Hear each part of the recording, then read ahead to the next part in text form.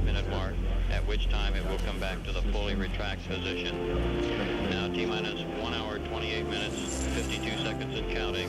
This is Kennedy Launch Control. Also going on at this time are some computer checks with the launch vehicle. These computer checks will be run continuously throughout the final portion of the countdown to ensure that the ground computers are communicating properly with the computers aboard the space vehicle. Crew had been having some problems with the vent oh, valve in the first stage of the liquid oxygen tank. As mentioned earlier, the liquid oxygen, as it does boil off, is vented to the atmosphere. One of these vent valves appeared to be sticking. That problem now does appear to be solved as it has been brought closed. Now T-minus 1 hour, 19 minutes, 8 seconds. You need more counting. air? This is Kennedy Launch Control.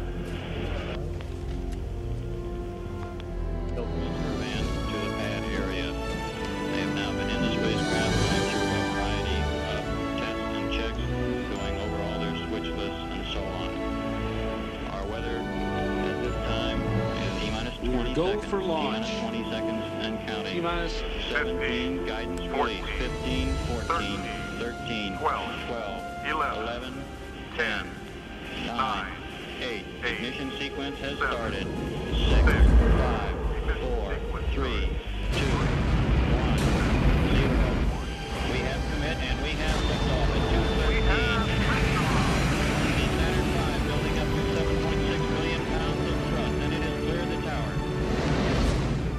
This is Mission Control in Houston. We appear to have a good first stage at this point.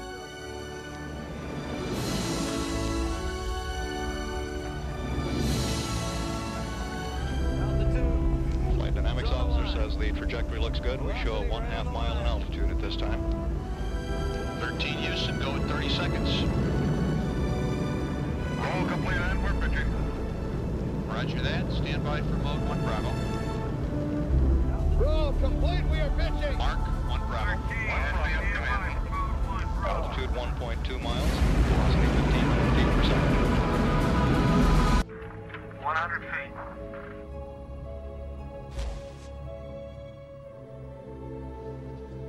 Watch the lineman now.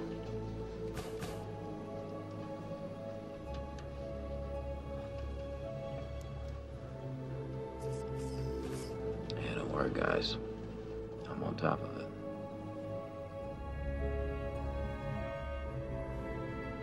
Twenty.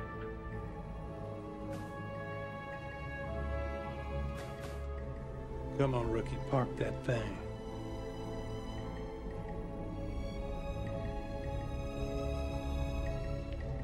Ten feet.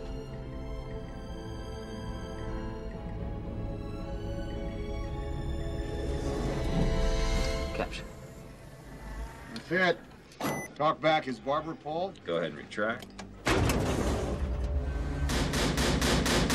Provide you with the appropriate background music.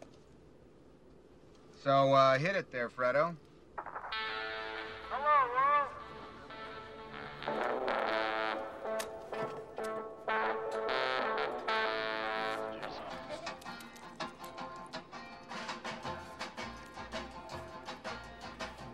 Was just a lad of ten. My father said to me, Well, folks, let's head on down to the lunar excursion module. Follow me. Now, when we get ready to land on the moon, Fred Haise and I will float through this access tunnel into the lunar module, leaving spacecraft will remain connected. Well, folks, as uh, you can probably tell, the Aquarius isn't much bigger than a couple of telephone booths. The uh, skin of the LEM in some places is only as as thick as a couple of uh, layers of tinfoil, and that's all that protects us from the vacuum of space. For flight in outer space. Fred Haise, Renaissance man. Okay, we're uh, we're about to close out the Aquarius and uh, return to the Odyssey. Our next broadcast will be from Fra Mauro on the surface of the moon.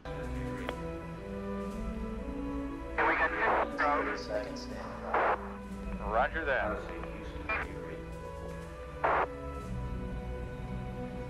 A report of uh, two good drogues coming up now for main chutes.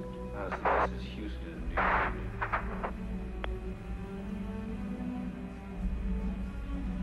That's four minutes. Standing by. Standing by for confirmation of uh, main chutes.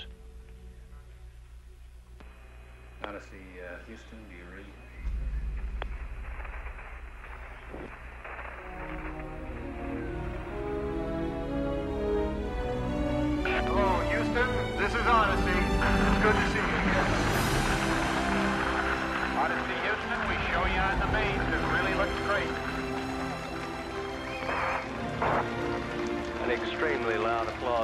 Mission Control. Very good. Nice. An extremely loud applause as Apollo 13 on uh, main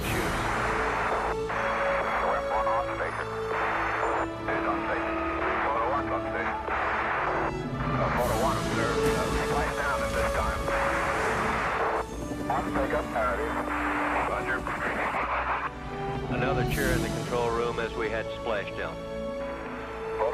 Second astronaut is on his way up.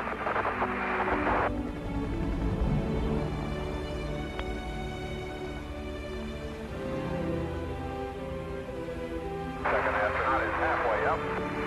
Excellent pickup, no observation.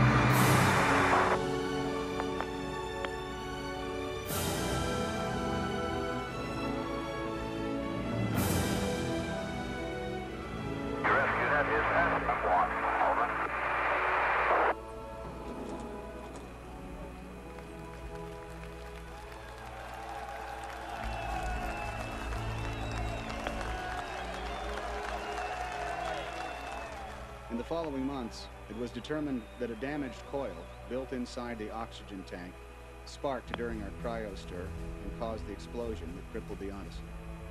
It was a minor defect that occurred two years before I was even named the flight's commander. Fred Haise was going back to the moon on Apollo 18.